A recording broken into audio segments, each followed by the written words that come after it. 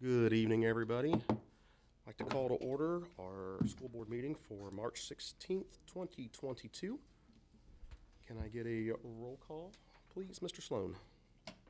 Mr. Cox? Here. Mr. Henry? Here. Mr. Llewellyn? Here. Mrs. Miller? Here. Mr. Mundy? Here. If I can get everybody to stand for the Pledge of Allegiance, please. I pledge allegiance to the flag of the United States of America and to the republic for which it stands, one nation, under God, indivisible, with liberty and justice for all.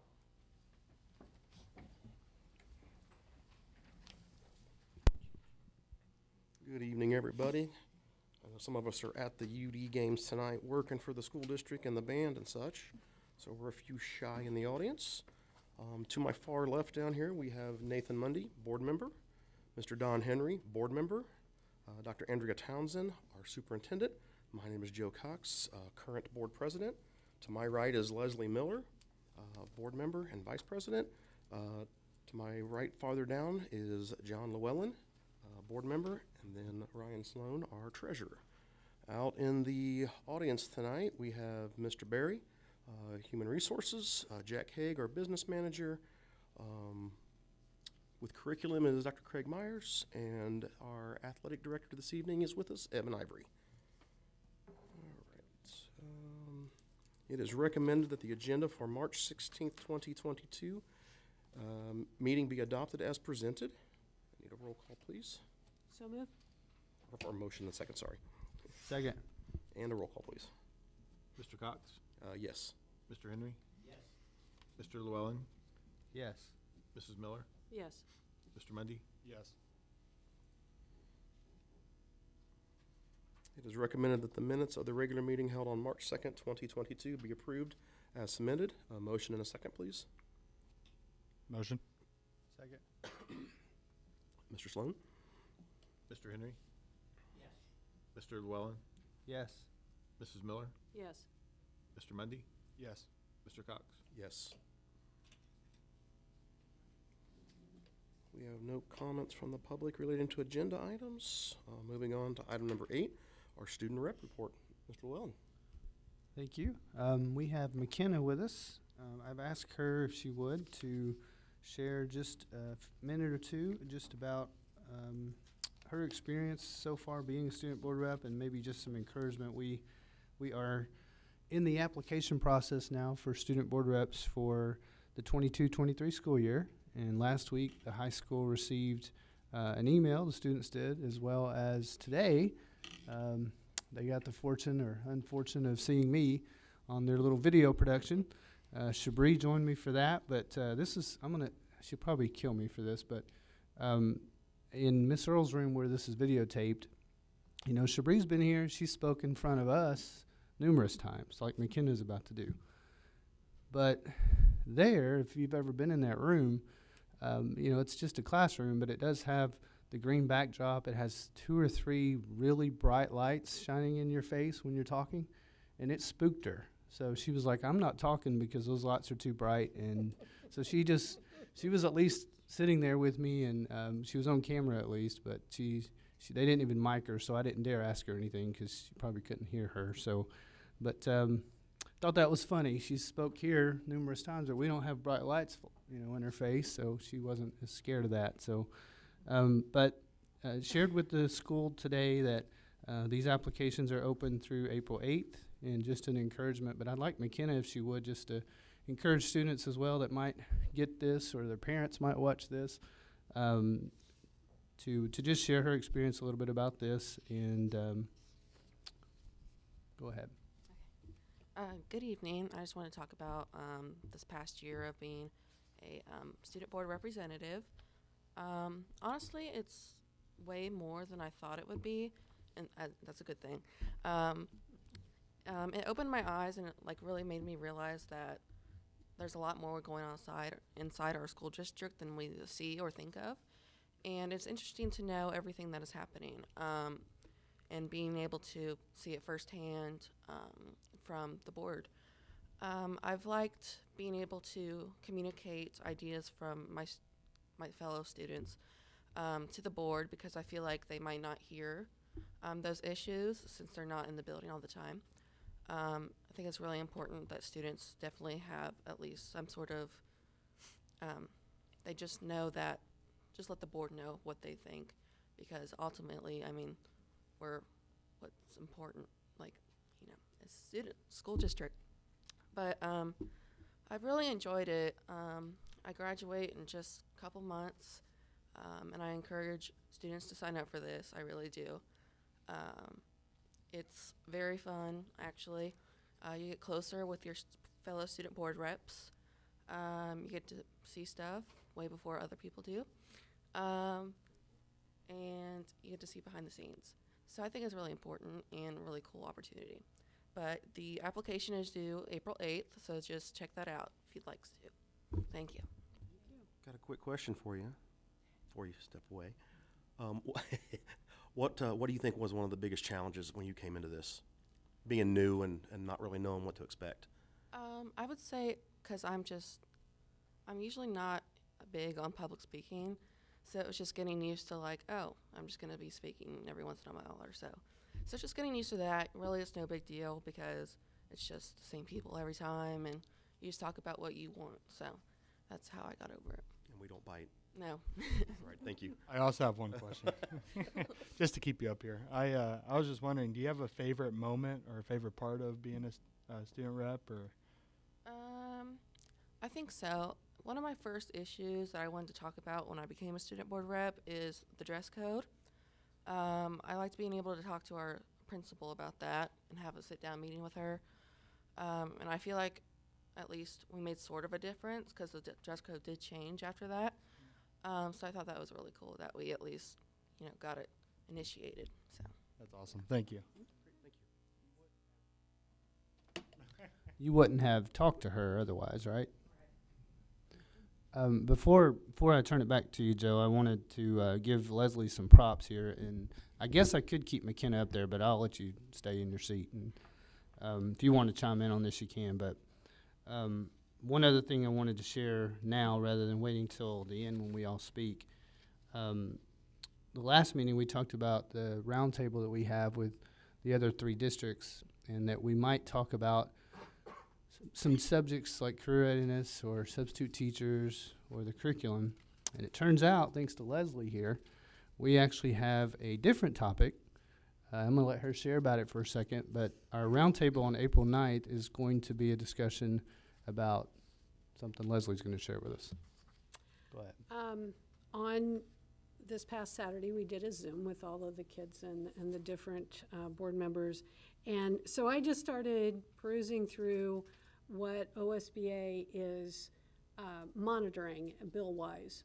And, and they have an entire list that board members can go into and uh, you can check and see where they're going with certain bills. And lo and behold, there was a bill, House Bill 565, is the state board adding five non-voting students to their arrangement.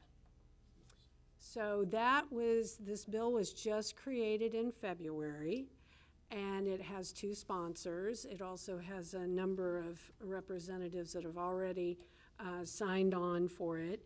So I just think that this is perfect for our, our, our kids. You have any comments you'd like to make?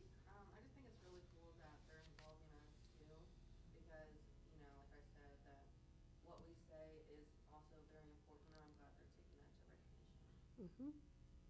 The, the really interesting thing is hopefully those two sponsors will be at the April 9th, um, because I, I could see them asking uh, some of you to testify, which would be really cool. A little scary, probably, but Yeah, we'll leave Shabri at home.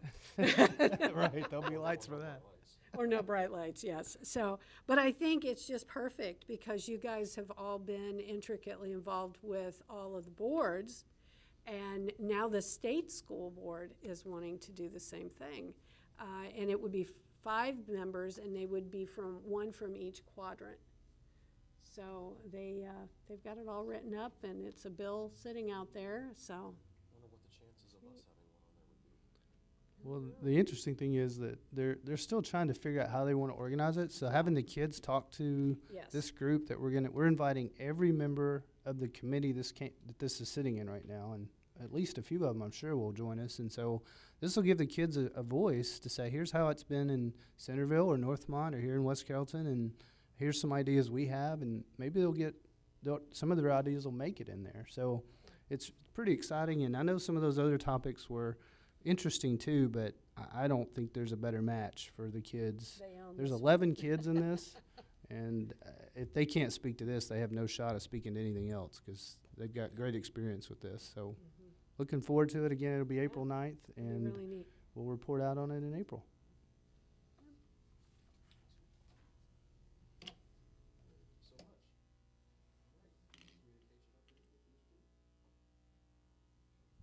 Good evening. And it's a lovely evening. I just wanted to remind everybody of the different ways you can find out what's happening in your school district. WestCarrolltonSchools.com is our website.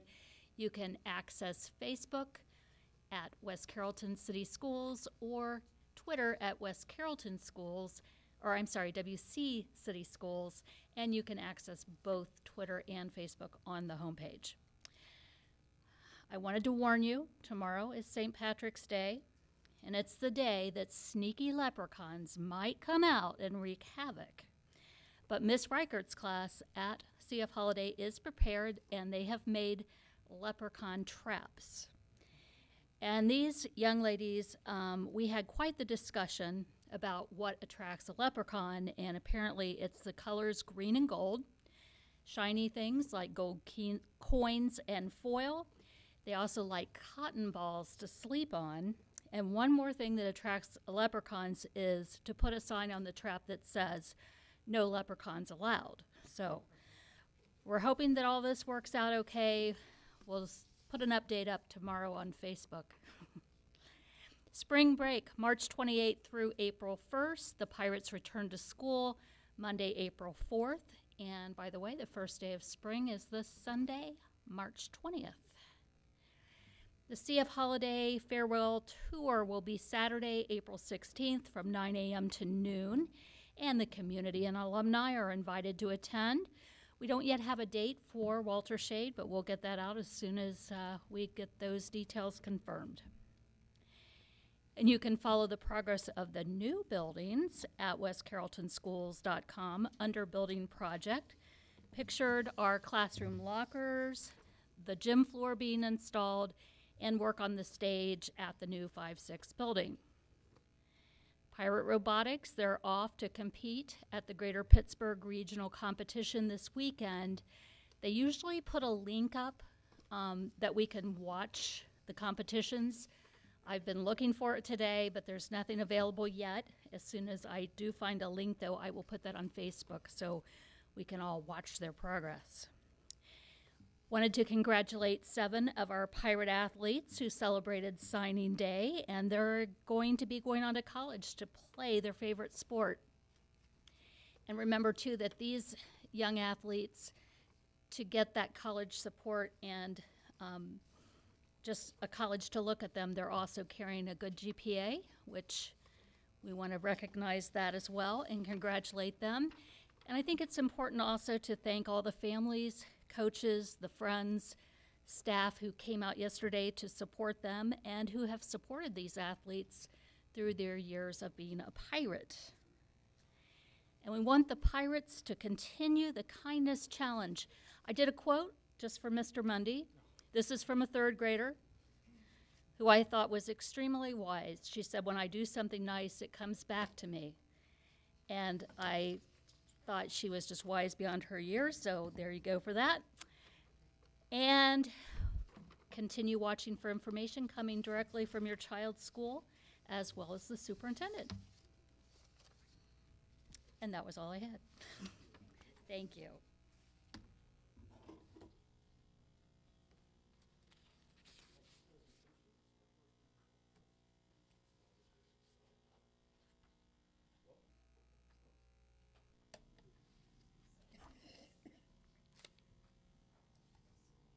All right.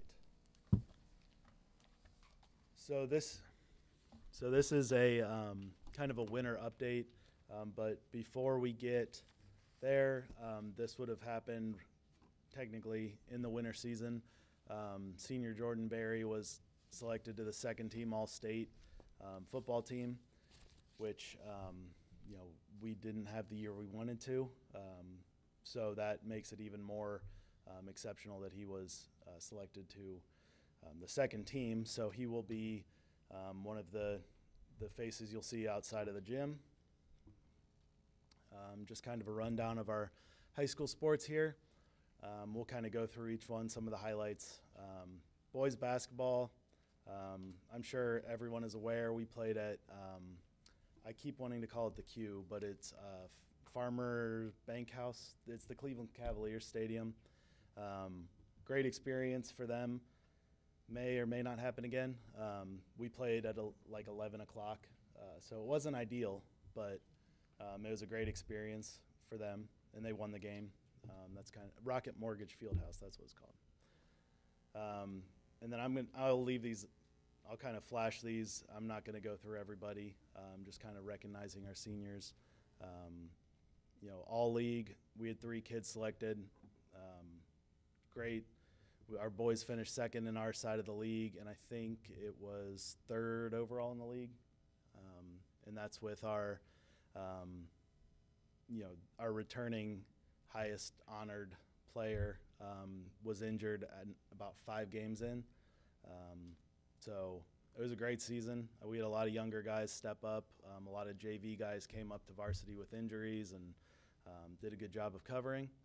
Um, all district teams, we had some kids selected as honorable mention.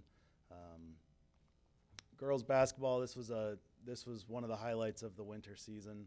Um, this is just kind of it, you know, when anytime you have to bring out the record book, um, it's it's a great season. Um, you'll kind of see. I, I mean, I just kind of ran back, and granted, this was in the. A lot of these were in the GWAC. Um, you know, it's 18 and six was a, an amazing accomplishment. Um, so this is you can't really see it. Um, Ashaya Maddox is a junior.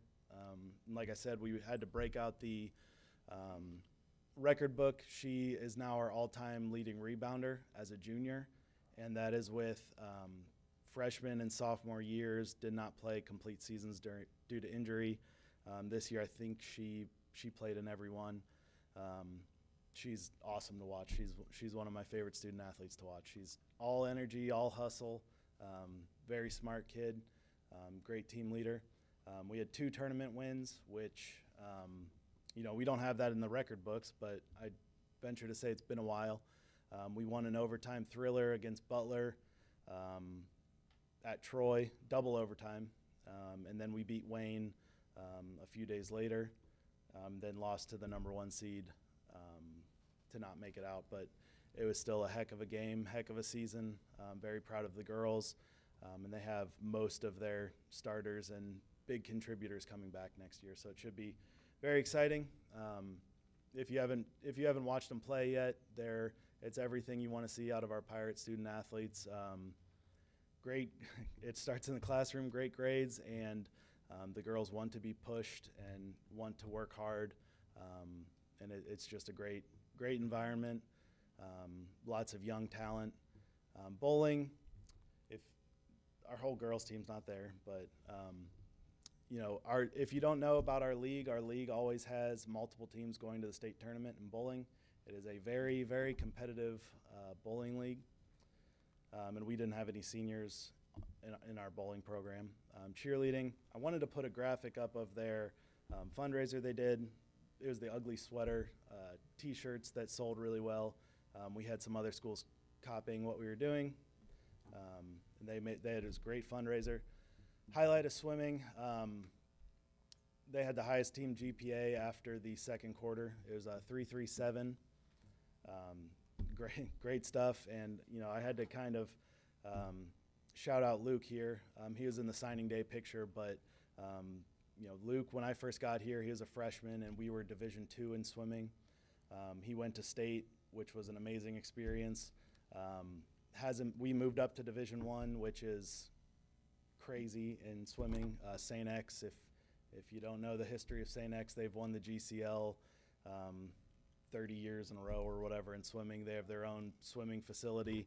Um, his times would have equated to him going back to state if we were Division two. Um, unfortunately, in Division one, um, we made it to the district meet at Miami, um, so I got to go out there and see him swim. Um, and this, you can kind of see the way they do the all league honors in swimming are a little bit weird. So you can be first team in multiple things. Um, and this was, you know, four years of him doing this. So um, he'll probably, you can probably pencil him into the Athletic Hall of Fame um, as one of the better swimmers to ever swim here. Um, great kid. You know, he played soccer as well. Um, first time that he played in his high school career, and he was first team all league in soccer. Um, it's he could play any sport here and be great. Um, just a great kid, great leader. Um, wanted to give you know the kids their shout outs for the all league honors. Um, we were able to do the swim the senior senior night swim meet again. Um, wrestling, it's a little weird. Our team is not is not that large, and we also only have one female in this picture, and we ended up having three female wrestlers, um, which is um, going to be full OHSAA next year. Um, highlight Emily Von Dore. Um, she goes to Bishop Fenwick. She lives in West Carrollton. Um, Bishop Fenwick shut down their wrestling program. We gladly, you know, welcomed her in, and she made it to state. So, you know, did a did a great job. You know, we have a lot of. If you ever see the Pee Wee wrestling teams here, there's a lot of young girls in wrestling, and I, I think as a growing sport, we really have the potential to be um, a, a great wrestling school. Um, long tradition here. Um, other updates: Athletic Hall of Fame, um, Carla Cheney Branham, and Coach Dean Pond. Um, it's always great getting to talk to people. We did this, um, I guess you can see, but it was at a basketball game. And anytime I can talk to the people that um, you know we see on I see on the wall every time I walk by it, um, you know I just I love it. It's it's great. Um, as you know, we hired a new football coach. Um, these are just two pictures he posted. Um, first workout, you know, he's like, "What should I expect?" And I said, "I, you know, we have a lot of kids in track and stuff, and um, didn't want to get his expectations up. He had 21 kids there, and then the next day they had 51, um, and now they're at the point where they don't fit in the weight room. So, um, you know, they're they're doing different groups. It, it's really helping. You know, he was over at the middle school, um, and the kids are getting to know him, and I think that um, when you do talk to him and get to know him, you know, you are kind of inspired. Um, he he's just great with the kids. He'll do really good things here. Um, and I guess I don't really need to touch on this since it was already covered. I just wanted to give a special shout out to these kids. Um, you know, when I was cleaning up yesterday, they thanked me um, after, which I don't, I can't tell you um, if I've ever been thanked by a kid. You know, it was like five o'clock, and they were like, "Oh, thank you for staying so late." And I'm like, "You have, you have no idea," but um, it's just great that they're all great kids and great in the classroom. Um, you know, great parents. You know, you can look at all of them, and it's pretty much the team parents are are all in this picture. Um, you know, the parents that step up to work concessions and stuff, um, booster presidents, um, vice presidents, um, and it really goes to show that it is a full family effort um, to raise kids that really want to work hard in the classroom and in their sport. Um, that's all I have. I, if anybody has any questions, I, I'll stay up here. Thank you. Just one minor one. Yep.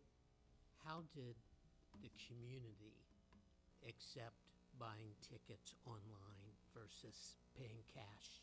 Um, I, I didn't hear anything, any complaints. Um, you know, all the tournament games going forward um, will be online. Um, the hope is to move all of our ticket sales online um, shortly. You, the, league is going to it, and I think the more that people are used to it, the more, um, the more easy it's going to be for everybody. Thank you. Our next presenter tonight's uh, Mr. Myers.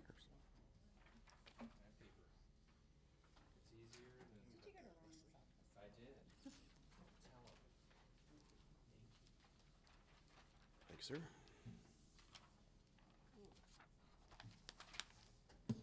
was either bigger paper or smaller font. Thank you. Thanks, Greg. This looks like Ryan's paper. Steal from the master of large print. Uh, good evening. If at any moment tonight during this presentation you feel dizzy or nauseous, that's just a natural effect of what I call the graduation requirement syndrome and understanding all of these uh, contingent, complicated things sitting in front of you.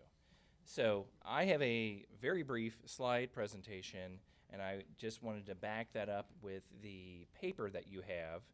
And just like any uh, educator knows, as soon as you hand somebody a piece of paper, you never see their eyes again, which is okay. but there's a lot of places to look. Um, so I I don't know if if you have questions in mind, and if you want to, uh, you know, feel free at any point in time to jump in and just say, hey, can you go a little bit deeper on this or that? Um, I'm going to present 2022, which will be an eye exam, uh, but believe it or not, that's the edited version. 2022 is the smaller piece of paper. 2023 is the larger piece of paper.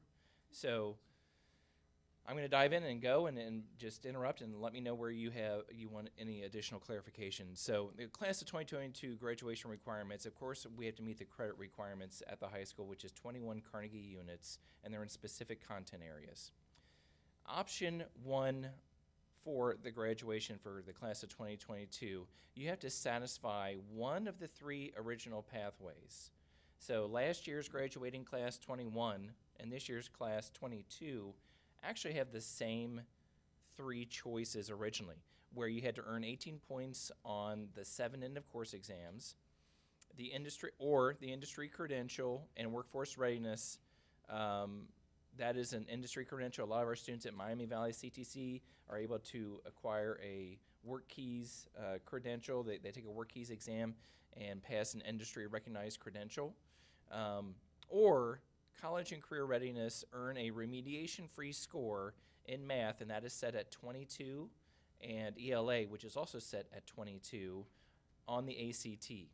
What you will not find on your piece of paper are those smaller details about what the remediation free score is, because the state legislature updates that on a yearly basis. Um, that's option one. Option two you could satisfy the new graduation requirements. So you could satisfy the demonstrating competency and the demonstrating readiness, which is on the larger sheet of paper. So if you're not, uh, you're everybody hanging in there, we're we're getting there. Um, so demonstrating competency really means you are able to reach a score of 684 in English and math that is not actually a passing score, that is a competency score. So you, I don't create these things. I, am going to get looks, but the the state has said 684 means competency, um, 700 means proficiency. So if you reach those scores in that level, you satisfy that, or through the alternative pathways like you earned a college credit in math or ELA. So you took a CCP course and you earned a, a, college credit there.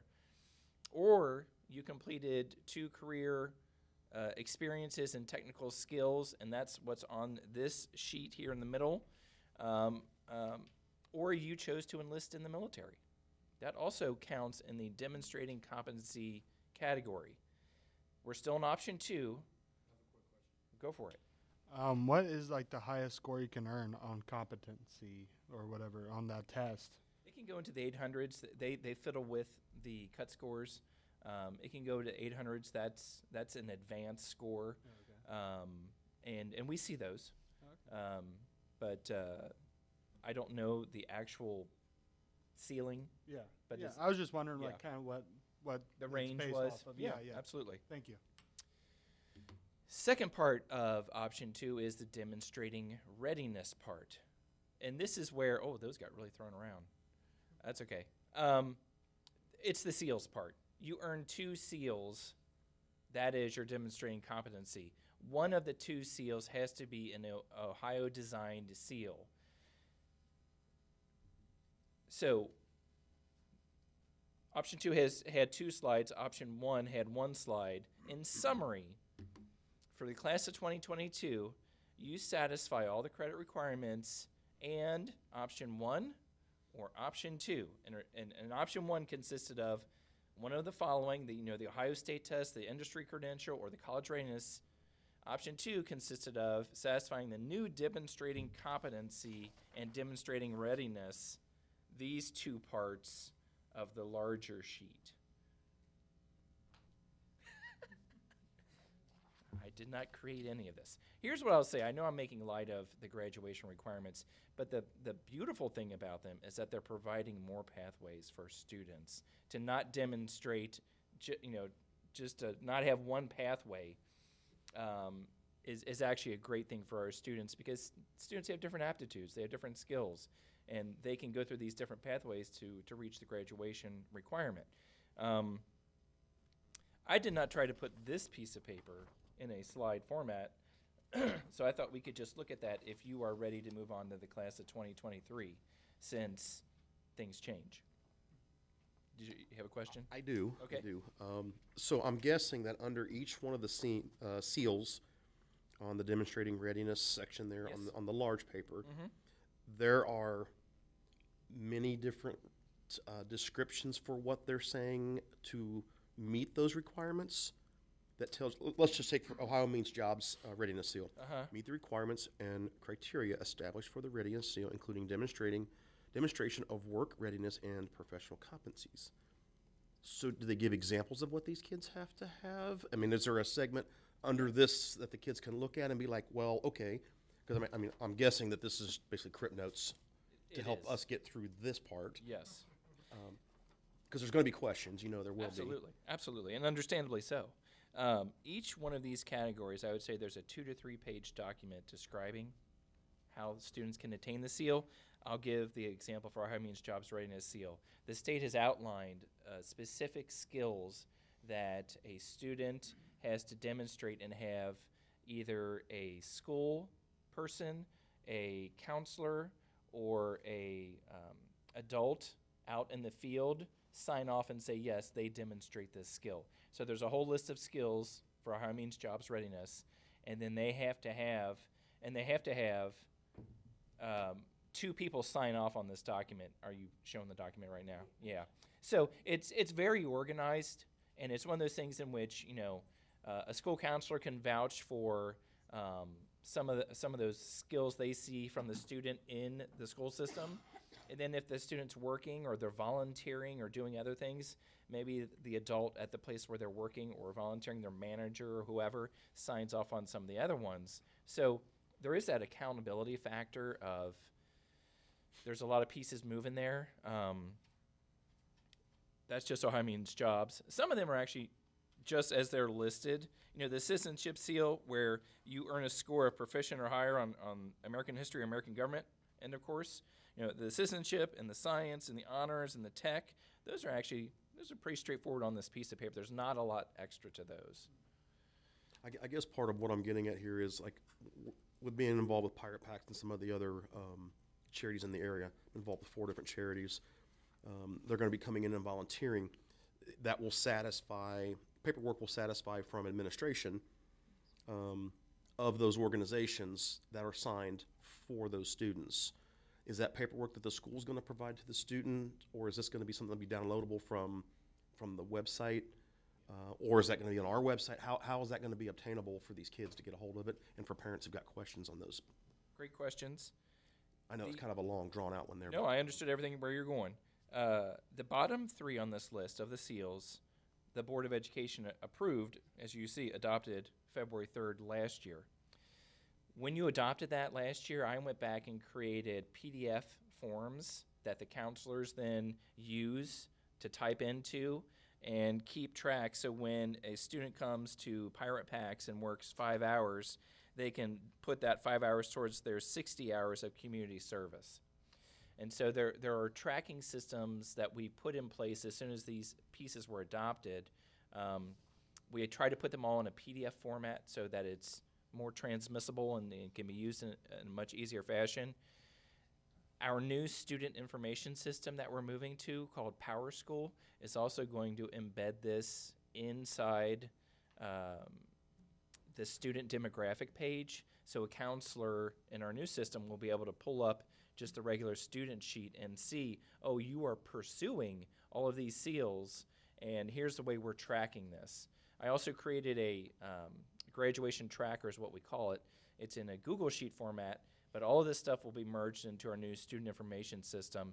So it's it's really lining up nicely right now with as we're adopting these new pieces.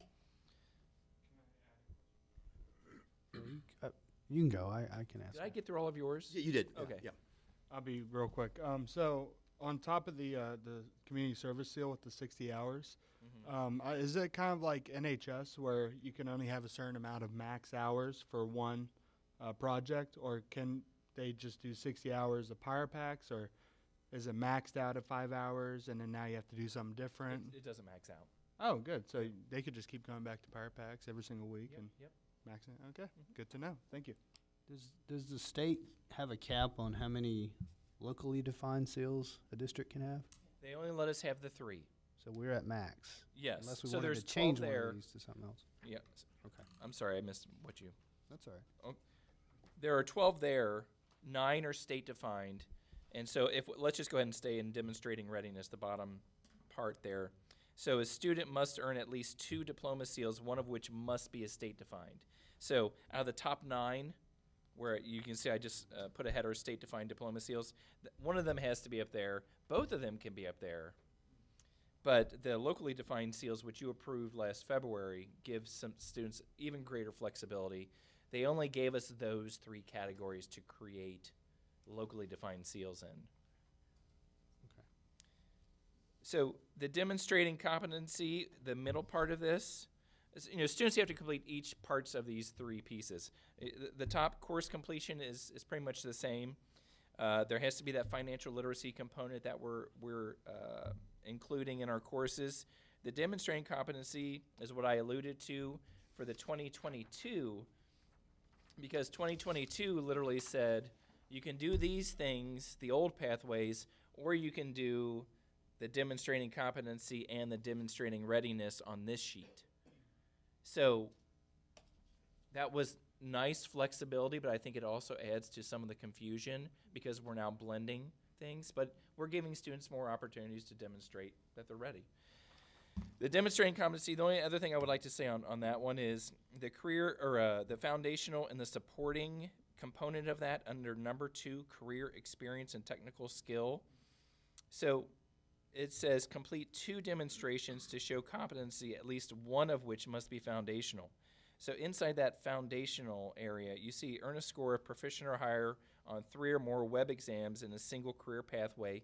Many of our CTC students will be offered those exams. We do a few in-house with our business courses. Um, earn an approved industry recognized credential. Once again, CTC, that's predominantly where we do that. But this year we added a course at the high school uh, to offer two credential tests for our seniors that we wanted to provide another opportunity for them uh, to make it to graduation. So we actually are offering two industry recognized credential tests in our um, high school this year, which is a new thing. Um, complete a pre-apprenticeship in the student's chosen career field or ch- show evidence of acceptance into an apprenticeship program.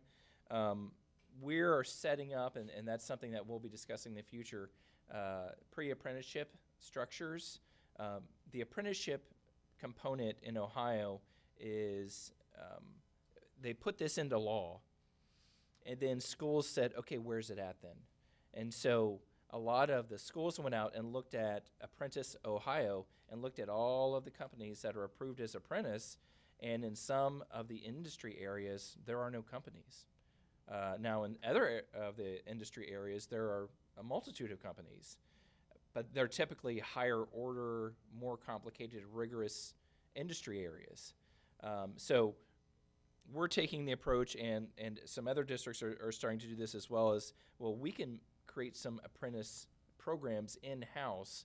So, uh, Mr. Haig and I have sat down and discussed uh, six different types of apprentice programs we think we are going to apply for, we know we're going to apply for, and see how those um, get approved and be able to offer those to students in the future. So that's exciting. And how, how is that going to work, and like what what category would that be in? Just Uh, uh, just example one or two of them. Just Sure, sure. Um, we talked about custodial. Like if you go to the Apprentice Ohio, you're going to find 1,400 categories. Um, and we talked about uh, the one that's coming to my mind is the ceiling tile one. Just because I was looking through this list and I, I asked Mr. Haig, I said, you know, is that something we could really offer?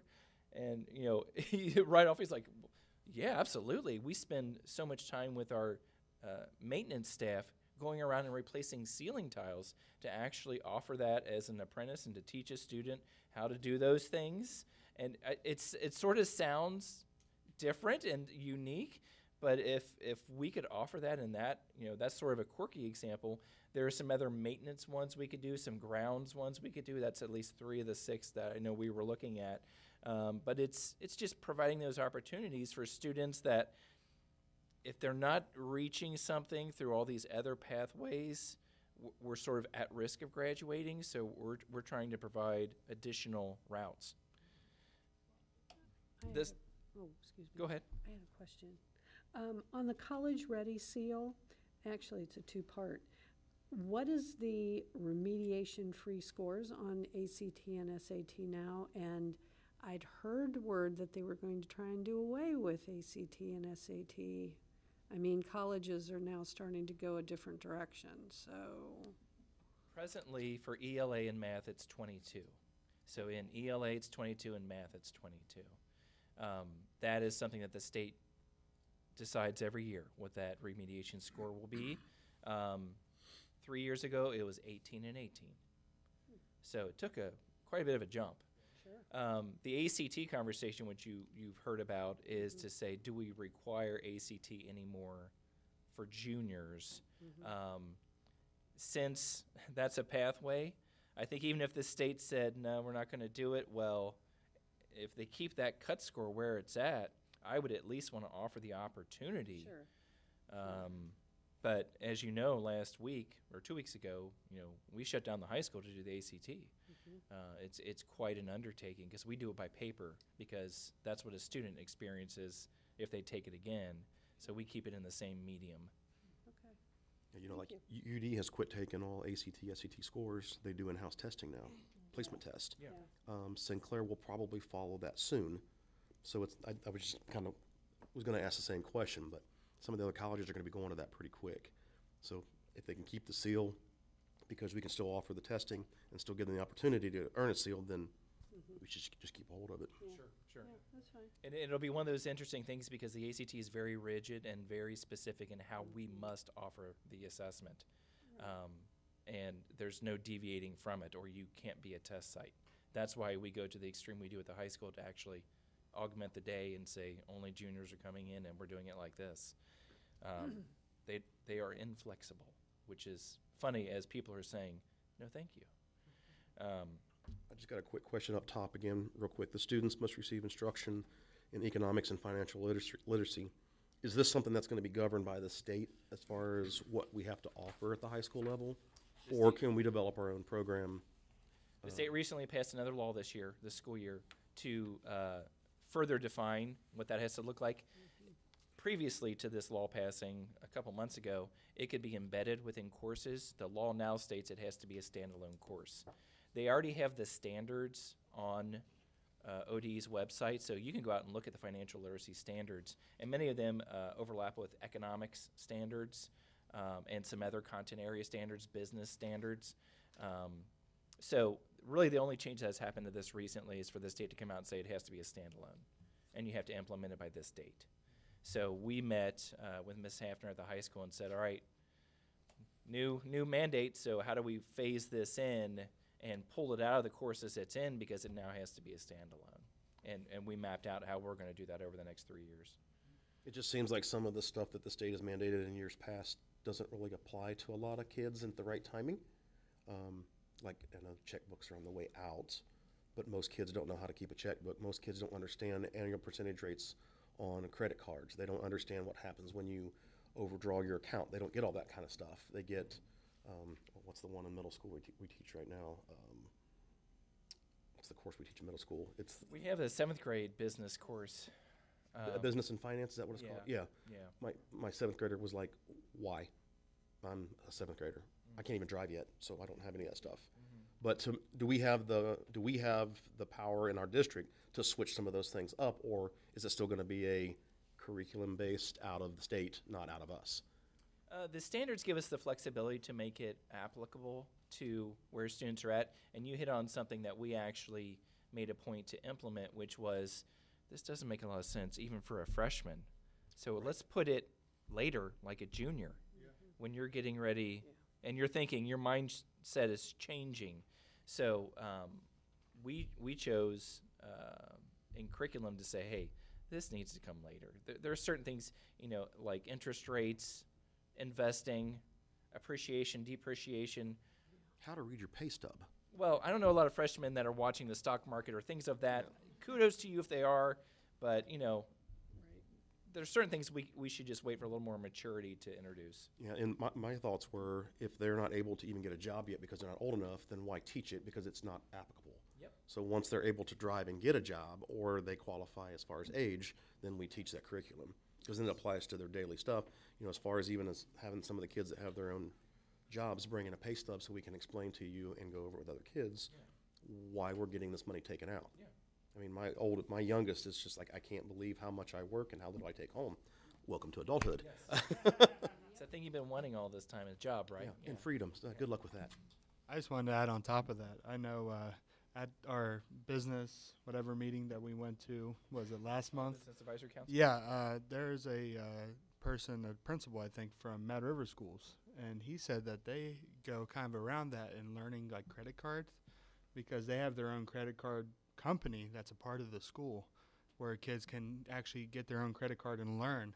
You know I mean through that age, so it's kind of neat how they kind of went around the bend there because they're not teaching in the schools. They just have a credit card company within the school now that you know, I mean kind of teaches them how to, you know, credit card stuff. I don't know, but uh, I just thought that was an interesting concept that they added into their school system. A long time ago, we used to have farmers or I was waiting for it. Yeah. Yes, we had we had a uh, we were approved by Farmers Merchant long before you were here. You know, um, we actually had up in the main office a little teller area. Yes, yeah, we did. that's why if you go by the main office, you'll see the glass on the window pane is different. Mhm. So Can I ask why we stopped that? Just didn't work, or that actually left before me, so that was oh, that was- really? No one No one used used it. Used it. Oh, I thought you said Really? you'd abused it. I was like, what? No, no. it- That's surprising. I 'cause came it in seems like 2006 now and it would have was one. it was shut down before me. So really. We started it up and then it, it- uh-uh. Wow, This that's it was was at forty five percent interest rate. I mean, Ah, that's why. Probably, yeah. Mr. Myers, could you step back? Um, we offered a, s- offered or do offered a seventh grade financial basics course. yes. Where should it be? I was, you, you kinda had that conversation, but Oh, about the, the curriculum. Where should the curriculum be? Um, that is appropriate for. Uh, the state also says you have to have a seventh grade and an eighth grade exposure to career and career readiness. So we're actually bolstering up and adding an eighth grade component in. Um, we have the seventh grade component, and what um, it's it's Julie Reynolds who teaches it uh, presently, and, and what she does is the middle school version of Ohio Means Jobs that first seal and starts introducing those topics to students. Um, she also does YouScience. There's a middle school version of YouScience. I talked before about the career aptitude test we implemented at the high school. Um, there's the high school version and there's a middle school version. So uh, she's doing a lot of career exposure and and the middle school version of exposing students to financial pieces. Um, it's not the exact same depth as the financial literacy high school standards. Financial literacy high school standards go deeper. So it's an introduction. freshman, sophomore? For the high school, we're, pr- we're going to put that at the junior level where we feel like it's, it's more appropriate. Thank you. I've jumped all over the place. What do you, do you have any other questions on this? I mean, that's, it's all uh, confusing at times, and uh, there there are many pathways. But honestly, even though I make light of it, I think the pathways are extremely beneficial to the students. Um, say it's not worth the paper it's written. No, uh, it, it is. Um, it is. It is. Yeah. It's it's uh, stressing out counselors as they chase things down, but we're also providing the means by which they can put that in our new systems and be able to track and, and um, not lose sight of any of the moving pieces, which there are much more are. There are much more of them. And just to clarify, the Miami Valley Career Technical Center is a junior year test site currently for ACT. Yes. So you don't necessarily have to test at your home high school. An alternate site would be the CTC. Yes. But the CTC also controls Youth Connections. We pull back the Youth Connection kids and test here. There are some other um, additional sites we use for students for credit recovery. We pull them back and test here. But if you're out at CTC in the robotics program, you test there. Thank you. Thank you. Thank you so much. No problem.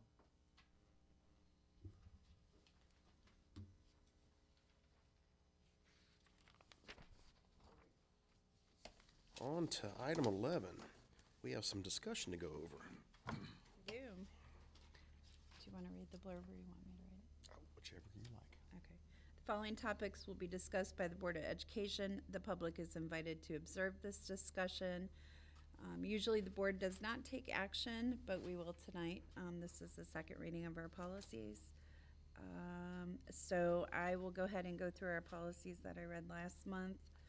Policy uh, 1616 and 5511, staff dress and grooming. Staff needs to look professional. Policy 2266, adding Title um, coordinators. Policy 2271, College Credit Plus. Um, boys have to register for selective service, or parents must pay for classes and fees. Colleges cannot take Ohio Department of Education money if they are not registered. Policy 237001, blended learning, they added paper activities. Policy 5772 and 7217, weapons, they added language to include weapons that include explosives. It's changes to the revised code 109.78 and revised code 2923.122. Policy 6110, grant funds, added language to include maintenance of effort and maintenance of equity.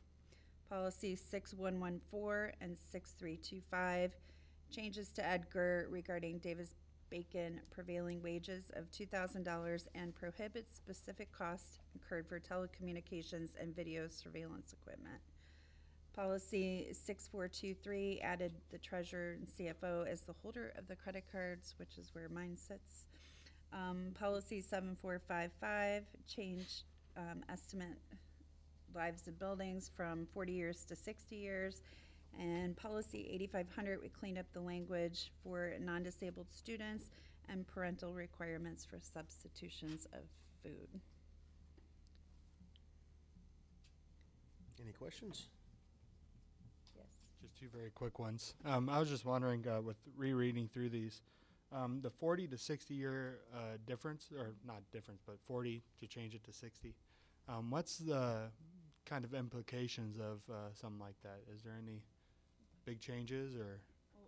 First of all, we're getting new buildings, so that's one thing, and the lifespan of the buildings, obviously, there, our buildings are over four years, so, um, we're not the only district that changed that.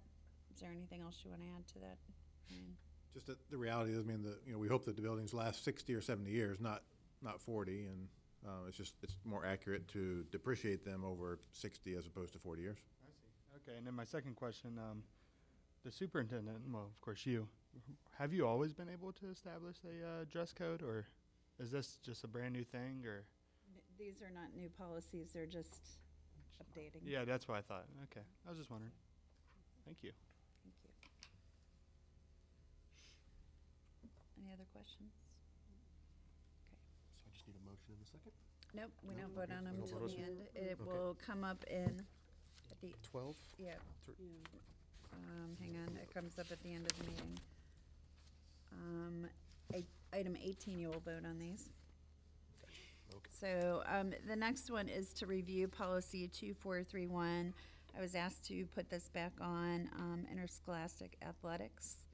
And it's for discussion and, um, it's about, we, we talked about, a little bit about this before, um, adhering to the two oh and giving a little bit of latitude to our athletic director for extenuating circumstances or, um, you know, for our special education students, um, meeting their goals. And, um, Leslie, you asked me to put this. Well, yes, I, I did because I, I feel like we've got a lot of circumstances here. We, we have, we're told of the basketball player, um, that couldn't go because of not having grades put in and, and our athletic director couldn't help them at that point. Um, and I believe that we've got other kids that have succumbed to illness. And then the way our grading structure is that once you do that and you're out, trying to recover is virtually impossible. So they had the grade point average to begin with, and then it fell. And then there was no way to recover. And I, I feel like this is a group situation that perhaps our athletic director, the principal, our counselor, it's a group type of situation. They all get together and figure out what were the circumstances when the, when the student was doing so well to begin with. Then it happened, now we have this. Is this something that can be corrected or is going to be corrected and uh, can go? Evan, do you want to come down and help out a little bit on this? I mean, I see it from a coach's standpoint. Yeah, so um, originally, obviously with COVID, it kind of, um, you know, once you miss a test or two and fall behind, um, it's a process to make everything up.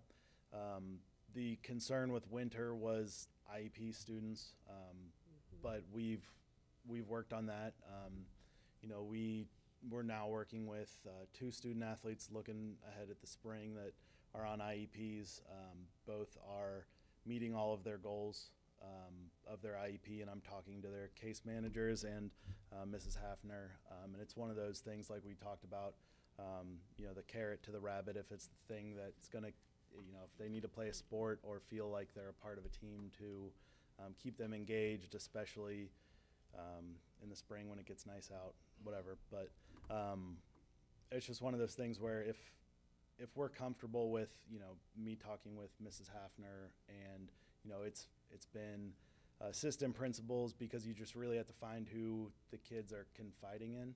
Um, You know, you can always tell when someone's like, "Oh yeah, something."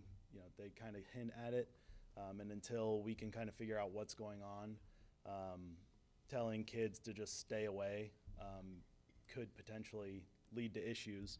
Um, and we're looking at maybe one to three kids a quarter or a season um, that this may apply to. Um, and hopefully, obviously, with COVID behind us now, it, it may be down to one or two. And that would just be the um, IEP kids, or, um, you know, we've had kids that have gone to the hospital for, you know, things like that, um, where you know they're good kids that take care of their schoolwork and stuff, but sometimes something happens outside of school. Um, that's really all it is. I would like to uh, put that extenuating circumstances into the policies so that our athletic director would have a little bit of leniency for those types of situations.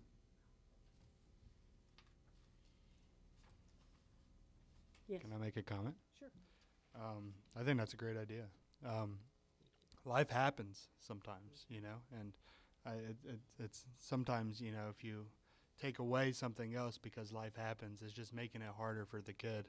So I fully understand that, um, you know, we should have a provision for that because it will happen at some points where life will come in the way and you just have to find a way to make it work. And, you know, I think that's a great idea.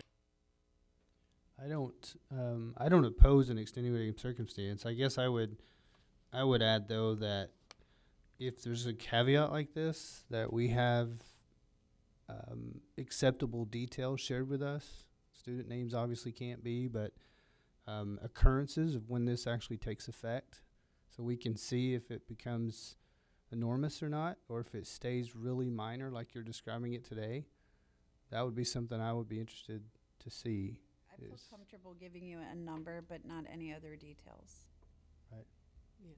I'm okay with that. If the number now is two or three, and in two or three years explodes to ten or twelve, it, it would seem to me that it's ta- it's being taken advantage of. I guess would be my point. And Right. That's, that's not what we want. No, huh? And, and these aren't the kids that, you know, we had talked about when they want to play a sport and to get their grades up. They had their grades up and then catastrophe struck. And then, so now we're trying to balance and get it. And, and they do have the OHSAA uh, requirements in, which is the five credit hours. So they've already got that. It's just trying to get them there and they will, they will go on. And a lot of times with this, um, we saw it with um, soccer, with COVID shutdowns. Um, it was kids that are, you know, never on our radar for grades. Um, But we were kind of going under the policy of if you don't have a 2.0 when we do the weekly grade check, you're not practicing. Um, and that shouldn't happen anymore. Um, like I said, this this is something where usually if something big comes out up, up outside of your you know school life, um, the coaches are more concerned with you know getting that figured out um, and making sure that they're okay before playing them. Um, it's more just if we're gonna not allow them to, if it's at the end of a quarter or something, stick with the team. Um, you know maybe we make them a manager where they're not playing or practicing, but they're still coming and um, checking in with the coach. Um, I can't ever tell you when there's a season where it would be more than three, and that's including IEPs and stuff, which just um, were never really factored in to start. But I think working with the working and communicating with everybody, um, I'm definitely okay with um, doing a number. That's that shouldn't be an issue. Everybody knows that I've taken a hard stance on the 2.0. Um, I understand that life happens. Um, that is not what my stance was on. And during the last two years ish, um, the no fault stuff because of the COVID, um, I thought was playing parts of the 2.0 stuff because it should have. Um, if they're out with COVID or any sickness for that matter, uh, Yeah, if they have a cancer, if, whatever it may be, most of that's not our business. But if they're out with that situation, I'm okay with that. What I don't want it to become is an opportunity to be taken advantage of. Right. None Oh, of us no, do. we Uh, don't and want that I'm either. just, Yeah. I'm just Right. voicing my opinion here. Um, I, I do not want to be anything less than a 2.0 school. I want to make sure that we hold our Mm-hmm. students accountable, and this is a privilege. It's, it's not a given. Um, just because we have sports doesn't mean everybody gets to go out for it, because you have to earn that, be the student first. Um, that's, that's my hard stance on that. Um, I understand that there are life issues. Um, we've all been through them, we all have a story, but again, everybody has a story. So as long as you're willing to take responsibility for, uh, with, with Ms. Hafner and whoever else you want to get involved in that, I mean, I'm kind of with John, I would like to know what those numbers are. I don't have to know details. Yeah. Um, but, but to make sure that we're, we stay within that one to three-ish, one to four-ish, we And get there- pushing up around ten, then I, I think Yeah. we're gonna be, Yeah, we yeah, yeah. we wouldn't and, and the the thing that we're trying to do is um, you know we're bringing in coaches that are academics first um, that's the priority because you know like our our new football coach for example um, first thing he asked all the kids were what's your gpa you know we need to see where you are um, and it's just educating the younger kids that um, you know middle school is whatever but once you hit eighth grade eighth grade, we're focusing on what you need to do, a bigger picture kind of thing, and preparing you for um, whatever you want to do. If it's go to college, if it's you know any kind of scholarship. A lot of the kids that signed yesterday were not um, you know full ride athletic scholarships, and that's one of the things that we're most proud of. Is all those kids were brilliant students, and that's that's what we want from our student athletes. What I loved about that picture is I've coached all but one of those kids over the years at one time or another. Yeah. And you were talking about Luke. Um, he's a very good basketball player, baseball player. He can Um, he can do it all. Uh, Yeah. and, and it kind of runs in that family. Oh, so, yeah. Yeah, definitely. But it's it. I take great pride in looking at that picture, and I was like, you know, I've done, I've coached all but one of those kids over the years, so it's group. great to see that. Yep. But that's just my hard stance on the 2.0. Uh, as long as we're not taking advantage of, and, and you've got two or three others with you that make those calls. If it's you, the coach, and Miss Hafner, and possibly the teacher there, that's fine. Um, the other issue that I've got is ProgressBook has always been a nightmare. Yeah. Yes, And I, and I know we're leaving that Yes, behind. we are, thank It's God. just taking us way too long to get there. Yeah. Um, I get so tired of hearing my kids say, I turned it in, I turned it in. It's just not posted. Because Yeah. my kid gets recommended at home before he gets recommended here. And if it's not turned in, then he takes the heat there. But That's nine times out of ten, that's the first thing a kid says to me is I turn this in. Um, and then it's just checking with the teacher and especially with the weighted, the weighted, you know, assessments and stuff.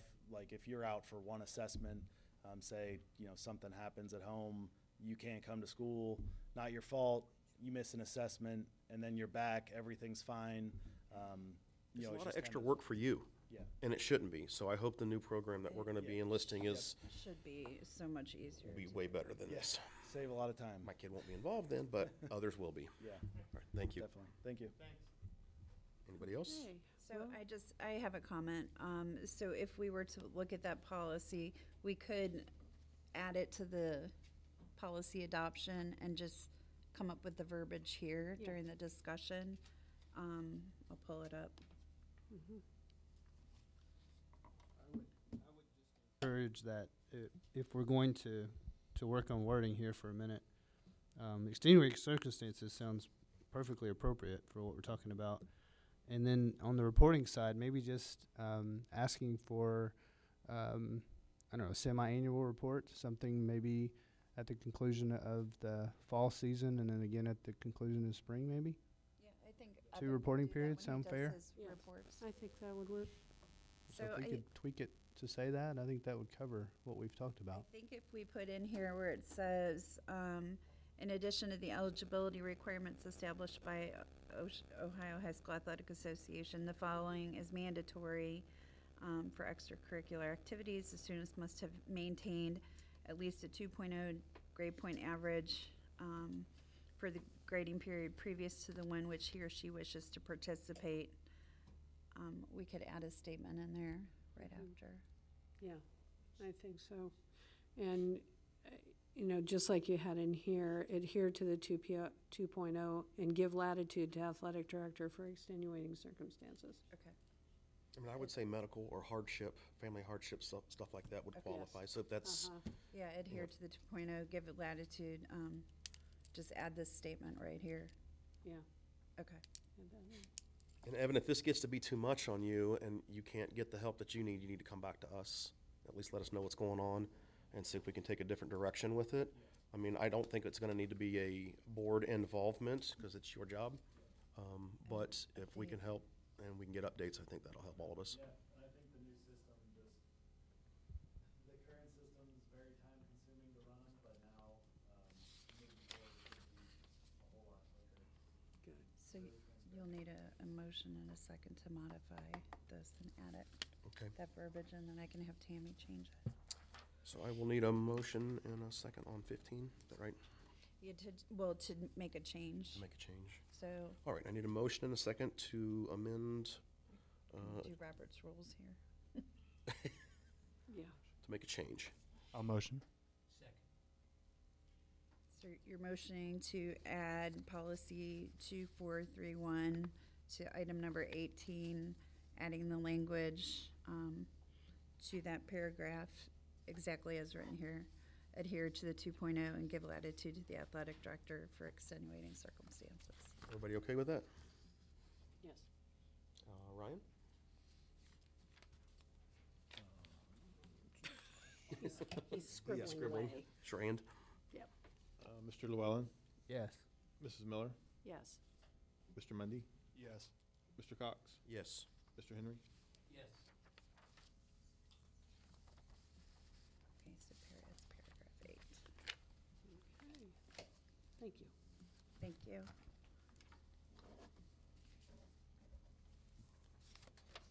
Okay, That's all I have for discussion. Okay. Mr. Barry. Moving on to item number 12, Mr. Barry. Good evening. Superintendent recommends that the board approve the following personnel items. Item twelve A, hire the listed individual on a salary notice for the 2021-2022 school year.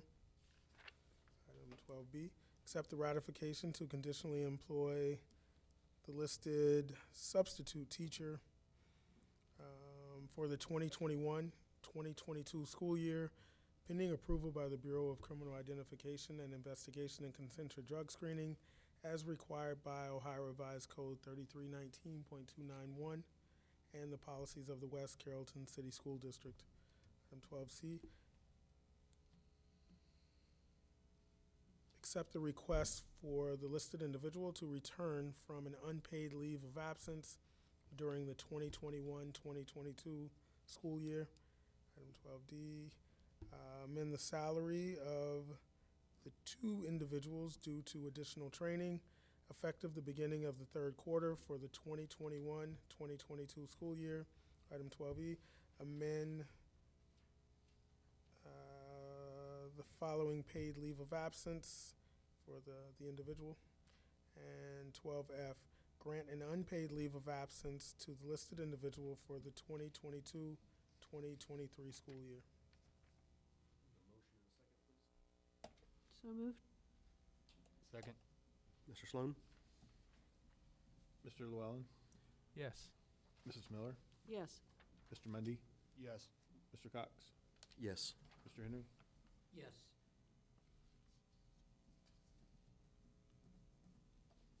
Item number 13, sir. Item thirteen, the superintendent recommends that the board approve the following personnel items. Item thirteen A, grant a supplemental pupil activity contract to the listed individuals for the 2021-2022 school year. Item thirteen B, grant a supplemental pupil activity contract to the listed individual for the 2022-2023 school year. And item thirteen C, approve, uh, the listed individual as an athletic event worker for the 2021-2022 school year. And item thirteen D, approve the three individuals as volunteers for the 2021-2022 school year. I need a motion and a second, please. So moved. Second. Mr. Sloan, roll call. Mrs. Miller, Abstain? Mr. Mundy, Yes. Mr. Cox, Yes. Mr. Henry, Yes. Mr. Llewellyn, Yes. Item number 14, Mr. Barry. Superintendent recommends that the board approve the following personnel items. Item fourteen A, accept the resignation of the listed individual for disability retirement purposes. Fourteen B, accept the resignation of the two listed individuals for retirement purposes. Um, Fourteen C, accept the ratification to conditionally employ the following individual uh, pending approval by the Bureau of Criminal Identification and Investigation and Consensual Drug Screening as required by Ohio Revised Code thirty-three nineteen point two nine one and the policies of the West Carrollton City School District. Item fourteen D, conditionally employ the listed individual pending approval by the Bureau of Criminal Identification and Investigation and Consensual Drug Screening as required by Ohio Revised Code thirty-three nineteen point two nine one and the policies of the West Carrollton City School District. Fourteen E, accept the ratification of the transfer and promotion of the listed individual. And item fourteen F, amend the medical leave of absence for the listed individual. Need a motion and a second, please. So moved? Second. Roll call. Mr. Mundy, Yes. Mr. Cox, Yes. Mr. Henry, Yes. Mr. Llewellyn, Yes. Mrs. Miller. Yes. Any comments? Uh, I wanted to congratulate um, Robert Johnson uh, for the work that he has done for the district, and um, uh, such a vital role in our district of, of keeping the internet as, as much as we rely on it as a district for instruction as well as our day-to-day work. Um, I think he's done a really good job um, getting us to this point, and he's going to help us, um, you know, build a bridge for the next person. But I think, um, yeah, he'll he'll be missed. His uh, Christmas email, um, Yes. as well as his, his normal gruff nature. Uh, I think he, you know, he's a, um, would say, uh, you know, uh, uh, definitely guarded, but um, a really nice guy. You know, he would probably. How long was he with us? How many years is that? What is it? Twenty. 24? Twenty-four. Wow. Goodness, I said twenty. You'll be missed. Yes, very much so. Great. Thanks, sir. All right. Thank you. Item number 15.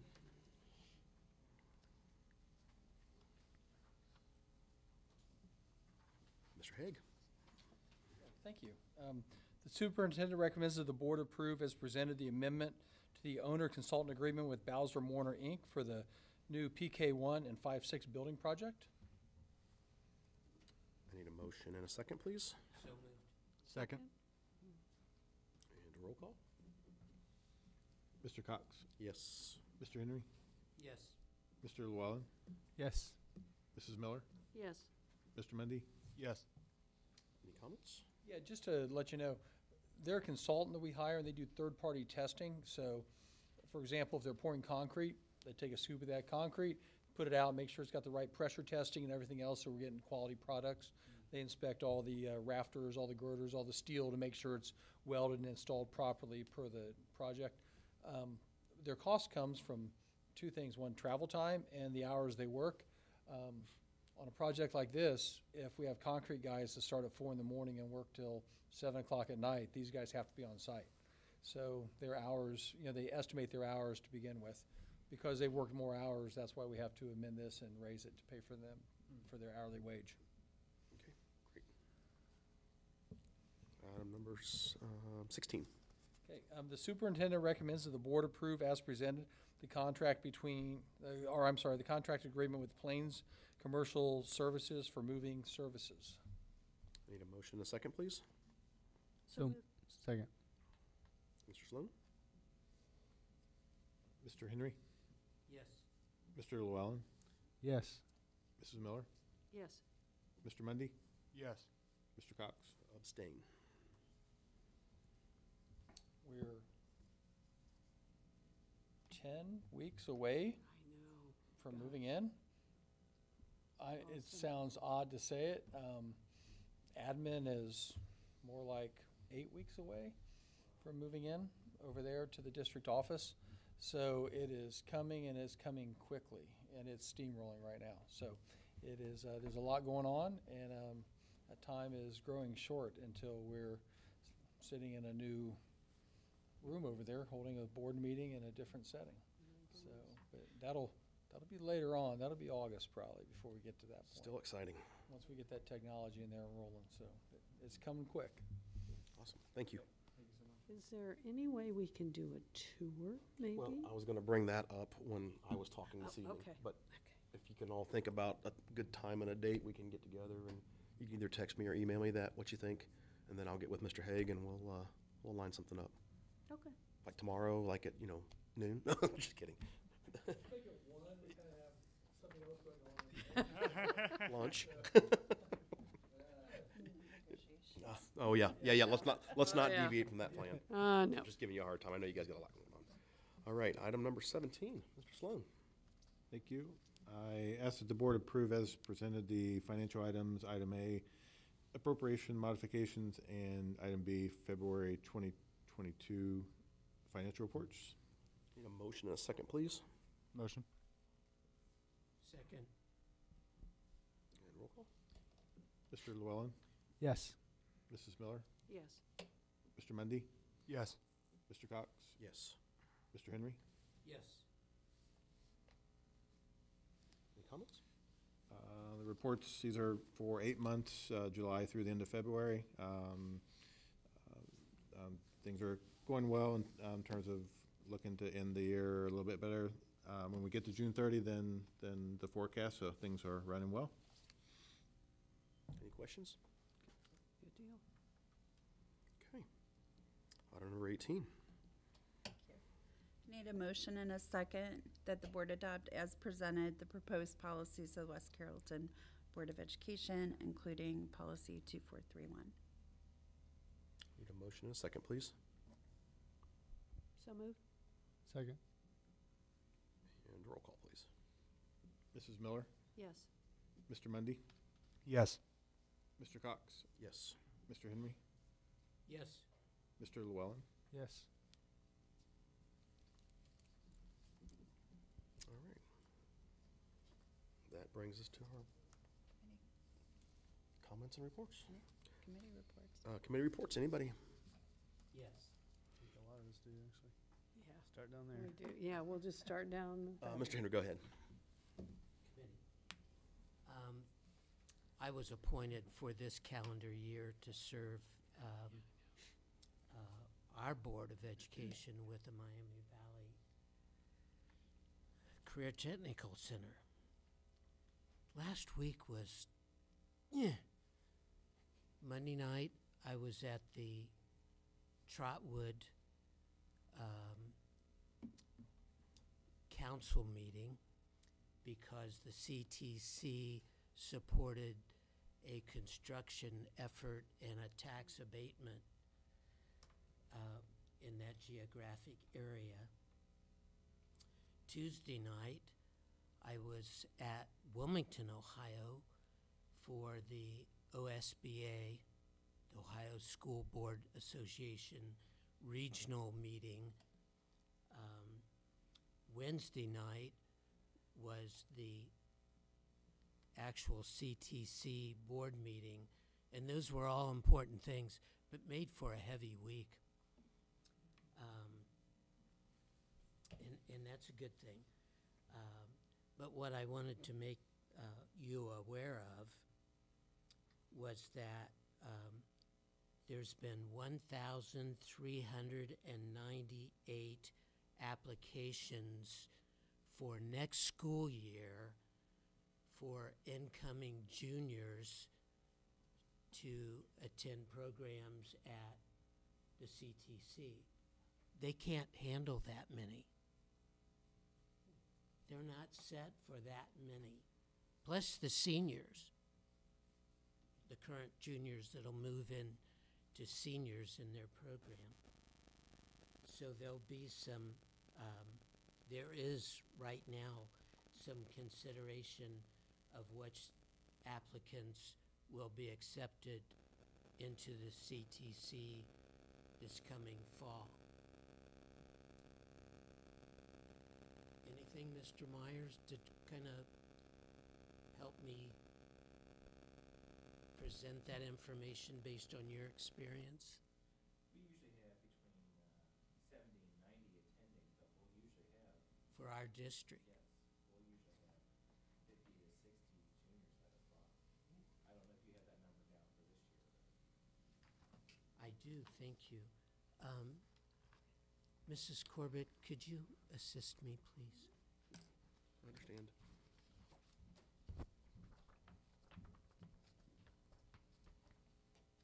I understand.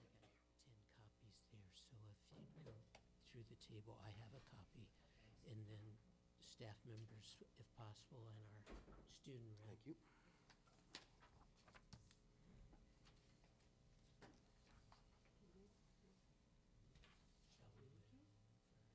Uh, she'll be a minute, so just go ahead. So, um, Mrs. Corbett's helping me with a, um, document that I brought from the CTC. And, um,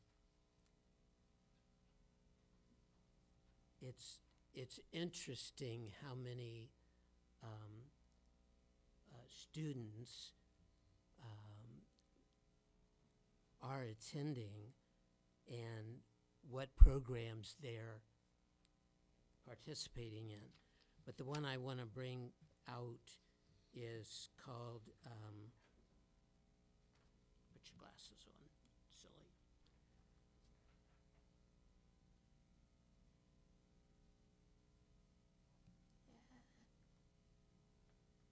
Information technology.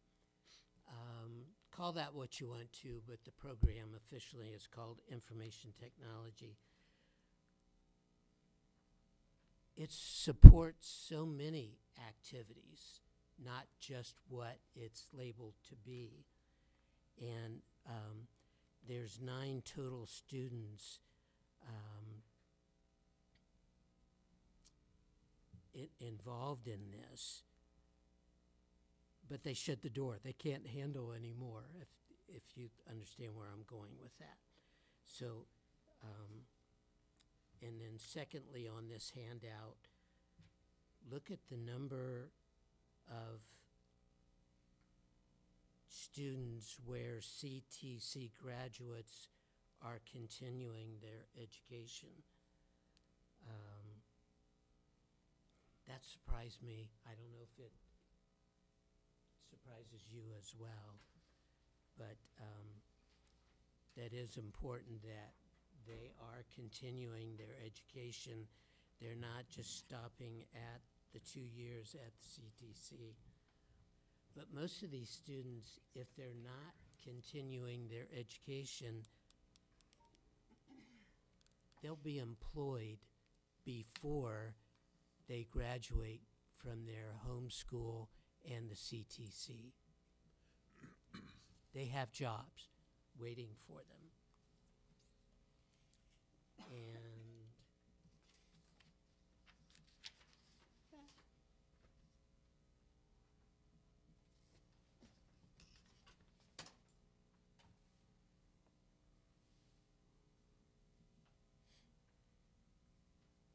I'm done. Thank you. Mr. Mundy? Thank you, sir.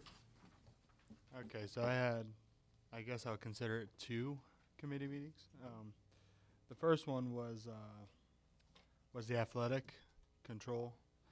Yeah, that was uh, very interesting. A lot of great information. Um, I'm guessing you'll probably say a few more things. Uh, I'll, I'll just go take two takeaways that I really enjoyed out of that. Um, one was uh, the no cash idea. Um, just an interesting idea that I mean it's kind of growing throughout not only local, but if you go to any stadiums, I mean bigger stadiums like Paul Brown or things like that, they're pretty much in the same boat. So it seems like it's just becoming a thing. And then another thing, I never know. Uh, uh, uh, Ivory mentioned uh, they let the kids kind of be a part of uh, hiring people or hiring uh, coaches.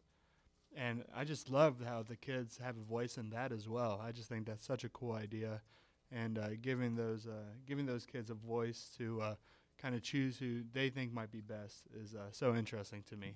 And uh, it seems like they make pretty good choices. So, and then of oh, of course, this morning we had our big district leadership. Yeah, it. Uh, you know, of course, all the all the people come, and I mean, it's just one of those big events. It seems like, but um, great information, of course. You know, a lot of great data, and um, I don't know. There's just a lot of takeaways from there too, but too much to list. So, I'll uh, just like to say it was a pretty good, uh, pretty good meet. So. I would I would kind of just throw out there, Dr. Townsend, assuming you're gonna be here for the next I don't know ten or fifteen years, that maybe as we have we're gonna have new board members soon. I mean, Joe's on his way out in a couple of years. I'm on my way out in a couple of years. So I'm just thinking as we get new people, what what um, Nate is doing, being part of that, might be a good idea for new ones. That's that's all I was gonna interject, but A lot to learn. A lot to learn. I think it's helping him. Yeah, that's great. You know? I'm, move, I'm, I'm looking to move in two years. It's all right. okay, I'm outside choking. Yeah. If it wasn't for the allergies here in Sinus Valley, I'd probably, ha- no, that's not true. Uh, Not to Florida, going to Georgia. Miss Miller? Ah, well, I'll tag on uh, to Mr. Mundy. Uh, I was also there for a small amount of time. I had to leave for practice, but um, couple of things. Um, and, and Mr. Ivory has alluded to. He has done a uh, nice liaison with Orion Sports Medicine, and our girls, um, our volleyball girls, soccer. Uh, they have been getting a lot of benefit from from all of that. So uh, i it's nice, uh, the Orient Sports Medicine.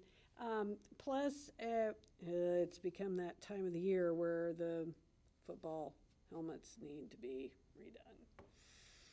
And so it looks like we may have to buy 33 new helmets. um, and uh, basically, what it's going to be is they're going to buy this chunk and then they'll integrate them every year. So it's buy a few more each year and, and keep it going. Um, because we always need, and, and especially with our new football coach, we're going to have a lot more kids. So that's going to add to it. Um, the only other thing that he had said he would like an academic advisor position. He had brought that to the, the Board of Control.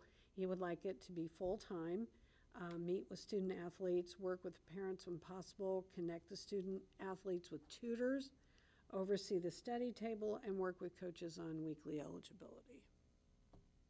So, that's something he's probably gonna be bringing to us. Because it's quite a job to keep all the kids together, so. So, that's it, that's all I had. Um, I have two things to share. Um, one, one starts with the legislative liaison task that um, I really, there's not been a, a lot to report because most of these committees haven't met much. And, um, but I will share this, and I think Dr. Townsend alluded to this last meeting too. It has to do with substitute teachers. And in case you're not aware, um, the House Bill 583 is the only one I'm going to share about for a minute. Um, it's had its second hearing in the House um, Education Committee. It had 10 um, witnesses, all school districts except for um, some of the associations spoke. All were um, in support of this. There were no opposition witnesses yet, at least. And I want to share a couple things about it. Um, I I think even OSBA shared with us in our roundtable stuff that they don't really think this will have a problem passing, but there there is some interesting aspect to it. According to the analysis, that's all I read. I cannot go through one of those bills, even a short one, and try to understand it all. But on the analysis part, it does uh, share the, that there's a there's going to be a difference if this doesn't get changed with uh, allowing for substitutes not to have to have the four-year degree through 2025, which I think Dr. Townsend shared that that uh, that date with us last time, and it is in there, June 30th of 2025. But it does say in the analysis that if a sub subs for six days consecutive in the same classroom or longer, there will be rules attached to that. And in the bill, the rules are that that particular substitute has to be 21 years old and then has to meet one of four options. So they got to be 21, and they either have to have an associate's degree, 60 credit hours toward a bachelor's degree, uh, be an honorably discharged person from the military, or have worked as an education assistant for five years. The bill also says if it's five days or less, that the school gets to choose the criteria for that. So I thought that was interesting that that they uh, make a, a difference between the five and six days, and but it does sound like it it's probably going to happen. Whether that stays in there or not, or gets tweaked, could be uh, could be a difference there. But the other thing I would share is um, our finance committee will meet next week on the 24th, and as I shared um, a few meetings ago, um, I do want that committee to look at the uh, prospect of giving us their feedback about what a policy would look like for us when it comes to, or a resolution when it comes to a levy. Um, doc, Mr. Sloan here, I about called you doctor. Uh, Mr. Sloan here has sent me some some good helpful information on what some other districts do, and um, I think I think this might be uh, a conversation that our committee has for maybe a couple of meetings before we ever ever bring something back to the board. And uh, whatever we decide, you guys may decide to tweak it or ignore it or whatever. That's totally up to the board here. But I think it's at least a good conversation to have to tell the community here's what uh, the Board of Education thinks is the parameters around going back on the ballot. And um, I think for, I'm not going to sit here for too many more years. And when I am basically sitting out there again, it, it just would be good to know what the board thinks is a good reason to go on a ballot, not just you know, we need, we always need money. Every district would always say that, except for the few that are hundred percent funded, I guess.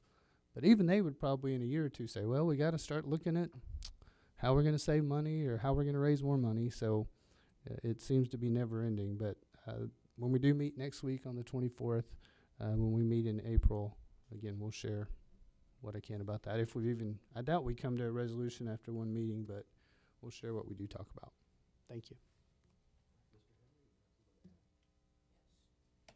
Mrs. Corbett, if you would support me on this, please. On the district website, there's a um, tab for our um, facilities construction reporting, and there's a report each week. I just happened to print off so I could remember to share that with you. Um, that website is providing us, the community, photographs of the current process of our um, construction phase. And um, I would invite you to go to the district website, to that page, and take a look-see, because we can speak to this um, a lot, but some of us need to see visual reports um, uh, of the progress that's going on so rapidly now in completion of the the uh, construction process. And as Mr. Haig said, it's only 10 weeks away to our completion date and move in uh, to the two new buildings. So. You're welcome. All righty, comments from our superintendent. Thank you. Um, Janine, your page has been viewed over eight thousand times for the construction project, so that's good. Um, I'd like to wish Robert, uh, a fantastic retirement. He will be missed. His knowledge and his dedication to this district has been phenomenal. Um, good luck to our robotics team this weekend. Um, that should be a lot of fun. I've kind of perused. I can't find a link yet either, but I'm sure we'll get it shortly. And I hope everybody has a safe and enjoyable spring break. I can't believe it's already spring break. I feel like I was just wishing everybody Merry Christmas. oh, yes, and it is St. Patrick's Day. Please wear green so our little ones don't pinch you. Ryan, anything tonight? Uh, Also, just want to say congratulations and best wishes to Mr. Johnson. Um, I have greatly enjoyed working with him and talking with him, and just as a follow-up to the, uh, to Jack's item about the moving, um, so we have a lot of records back in our area that we're kind of going through, doing a lot of spring cleaning, um, a little bit of shredding. And, um, so we're looking forward, looking forward to the move. Alrighty.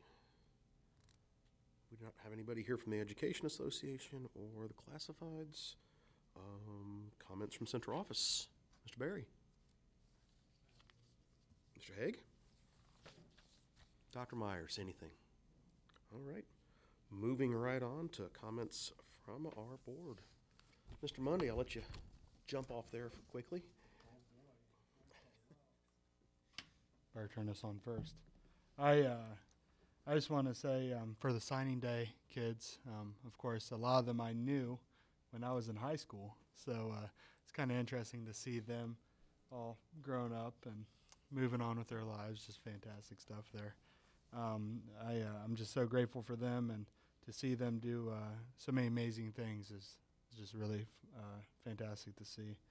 And then uh, also uh, for student reps, um, I just I just love when they have passion to do these things, and I hope anyone that wants to be a part of that, I hope they um, they really go for it. And you know, of course, that would come with a quote. And the quote is All our dreams can come true if we have the courage to pursue them. And that's by Walt Disney. And I really hope, um, I mean, for student reps out there, if they um, if if they want to have their voice and really show it, and if they have a passion, you mean to uh, please be a part of that, and you mean see what we do, and uh, yeah, that's all I needed to say. Thank you. I've said enough, thank you. Okay.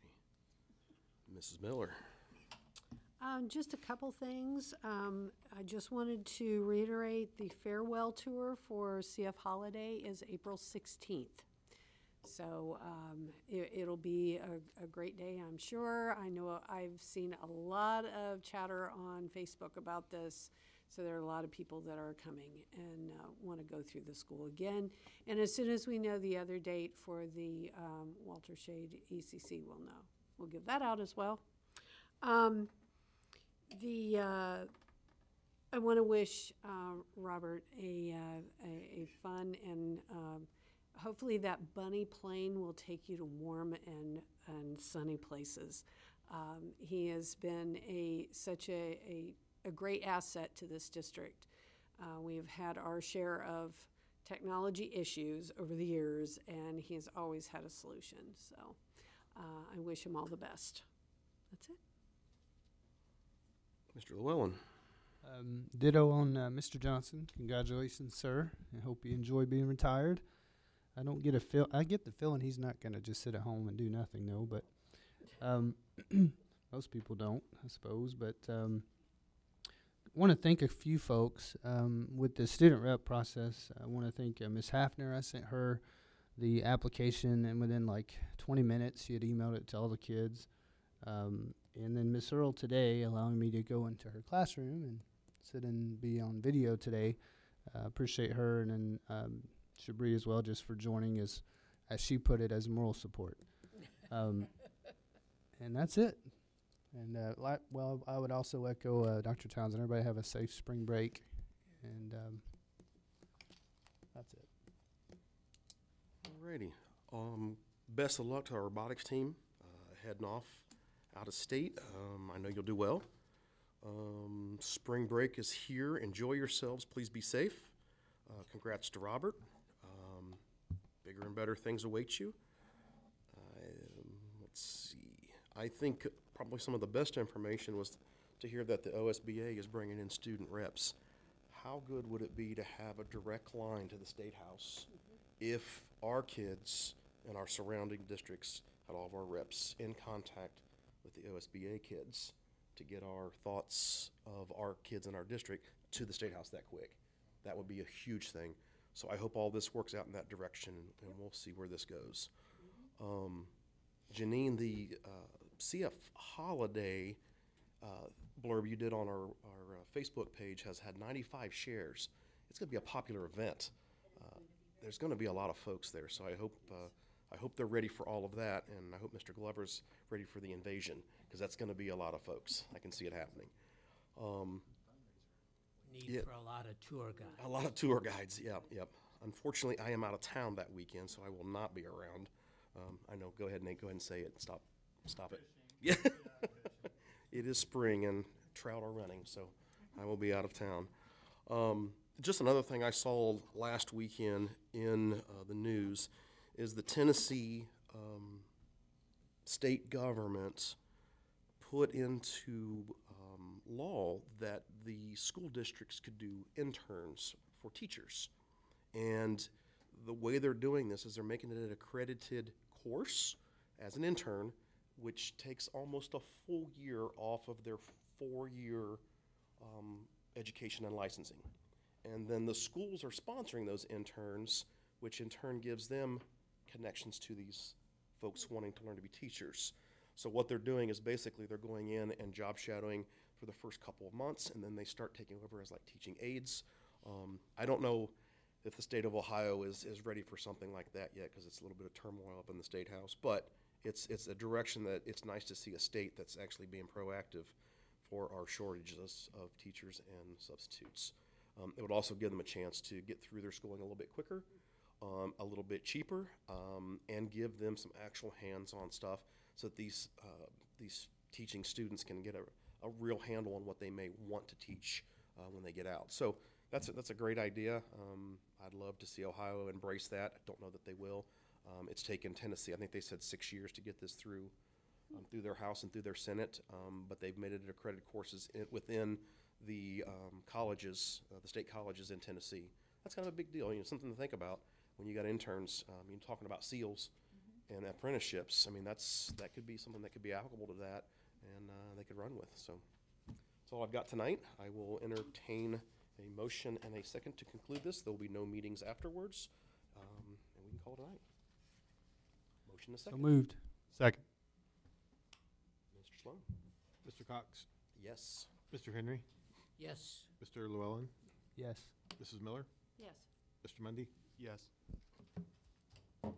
Thank you all